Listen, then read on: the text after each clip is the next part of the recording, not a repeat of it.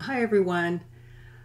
I just finished reading a new book, um, You've Got the Power by Lavinia Plonka, a fellow Feldenkrais practitioner. She presents the four paths to awaken your body's archetypal energies. In The Beginner's Guide to Jungian Psychology by Robin Robertson, Jung is quoted as saying the archetypes are the unconscious images of the instincts themselves. In other words, that they are patterns of instinctual behaviors. This means that we have these basic patterns available to us even if we've never experienced that behavior in our lives. This is energy that we can all tap into, and Ms. Plonka aims to show us how.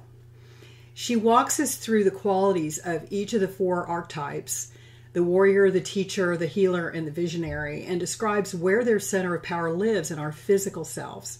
She also talks about the kryptonite and superpower of each archetype. The qualities of the warrior are power, attention, and honor. Warriors don't necessarily wield weapons on a battlefield. They rise up to battle corruption, oppression, and greed at every level of our human experience. And the center of the warrior's presence is the pelvis. This is about stepping up, showing up, and standing your ground. The pelvis is the center of our primal emotions like terror, lust, and ecstasy, and our primal instincts of self protection like fight, flight, and freeze. Many cultures have disowned these lower order functions and thus inhibited the movement of the pelvis, but the pelvis is the center of both our mobility and stability. It holds our freedom of expression that is essential to our life affirming energies. The qualities of the teacher are wisdom, responsiveness, skill, and communication. Ms. Plonka writes When we are called to teach, we're immediately called to learn. The teacher's center of presence is the chest, which contains and protects the heart and lungs, as well as the solar plexus. Medical research is now acknowledging how important a connection between the breath and the heart rate is to general health and well being.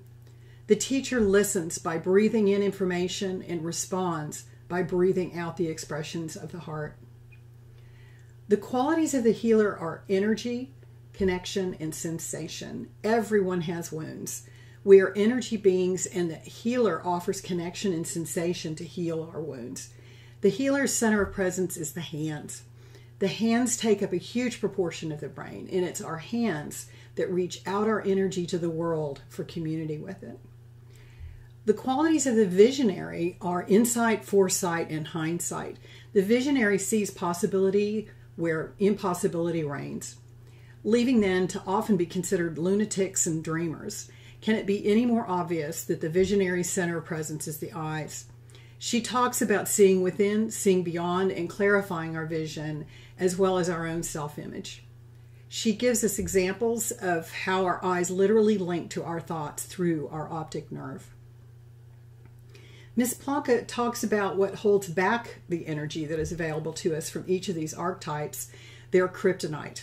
And she also discusses each of the archetype superpowers, which are the abilities that, if cultivated, allow us to become the fully realized person we dream about.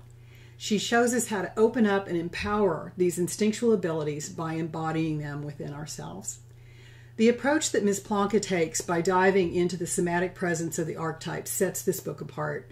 It is not often that a book will describe a concept intellectually but also somatically. This is vertical integration that fills out the concept into full fruition. Ms. Plonka shares her own experiences of connecting with her archetypal energies, which I think personalizes the subject and invites the reader to be open and honest in their own introspection. I especially love the roadmap at the back of the book that illustrates how to use the ideas in the book to map out a strategy for transformation. But I truly loved the QR codes that allowed the reader to experience the audio somatic lessons from the author herself. She personally invites us to find the nuances within ourselves rather than dryly parsing out some written instructions.